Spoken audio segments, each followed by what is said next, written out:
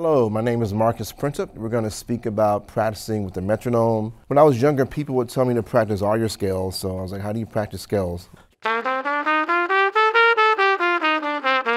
Okay, that's a scale, but that, that's a major scale.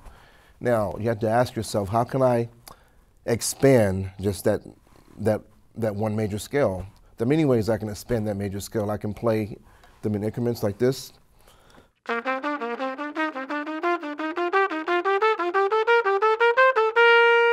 Now that's one way to just to alter or to change, you know, playing a major scale just, you know, from the, the average da da da da da da da da da da da da da da. Another way to do it is you can play your scales in all 12 keys. And that's one thing that gets overlooked. Um, usually when we're younger students in middle or high school, we just play just like a B flat major scale for warm-ups. Learn your scales in all 12 keys. And if you decide to do those little exercises where you alter the scale like this,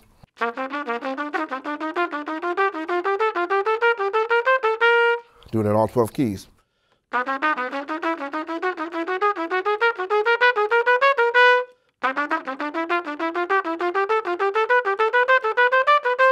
And so on. So that's one way to alter or to change playing scales so that they're not mundane and just the same thing all the time. Now, we're going to add the metronome into this thing as well. I have a metronome on my iPhone. For now, I'm setting the beat, let's see, um, at 70 beats per minute. Now this is a regular scale at 70 beats per minute.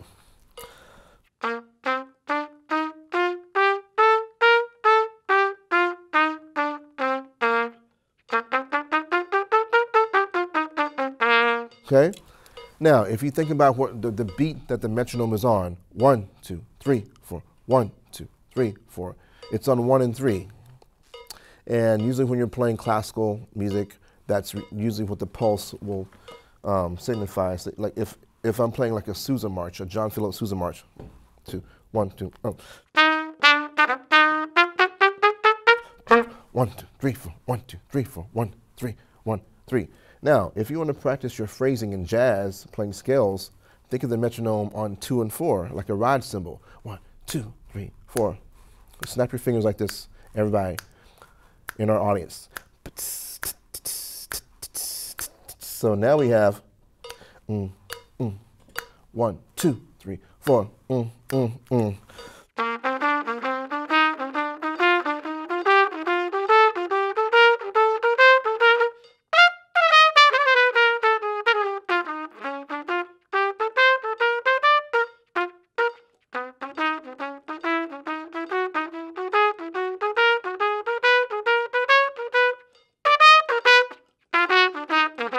You know, that's one way that you can practice your scales as well. So just do them in all, in all 12 keys, practice them straight with the metronome on, on one and three.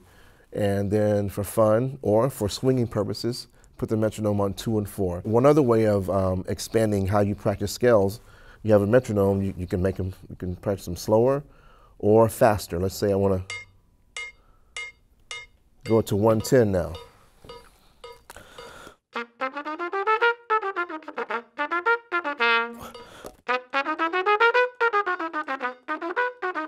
Okay, now that's one, two, three, four, one, two, three. Now if I put it on two and four, two, one, two, three, four, uh, think of the drums. Uh, two, uh, uh, uh.